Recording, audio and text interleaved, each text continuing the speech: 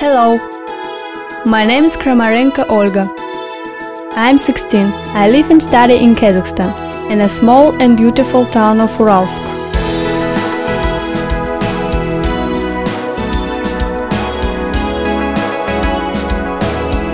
Here are the roots of my ancestors and my historical homeland.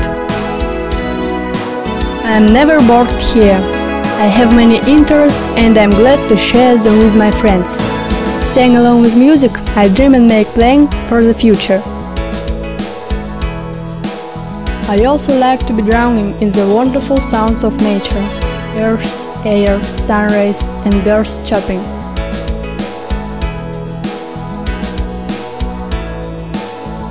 I enjoy the sounds and take delight in the life.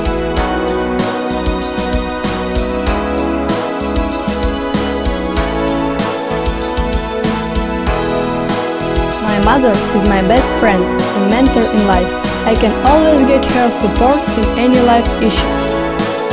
I like to please her with my successes.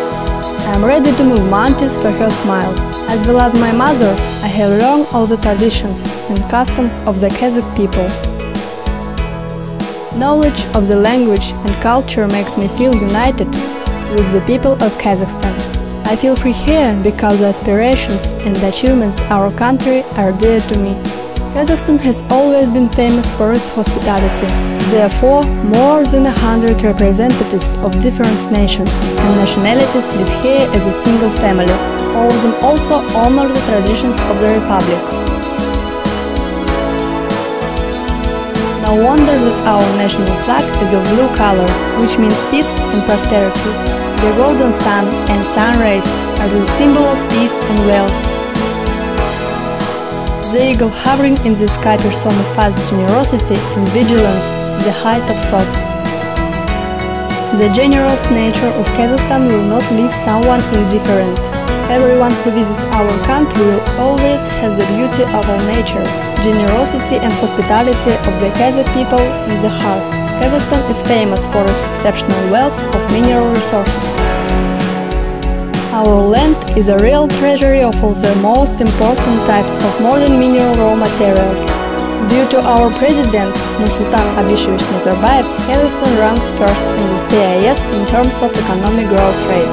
Our president is a truly wise man, a subtle politician, a strategist, and a true patriot. Thanks to him, the Republic of Kazakhstan has achieved stability and prosperity.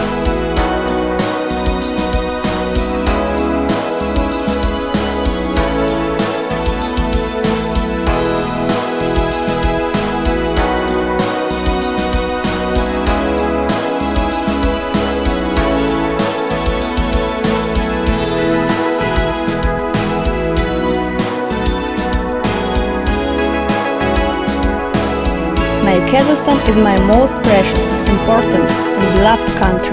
I am proud that I live in Kazakhstan.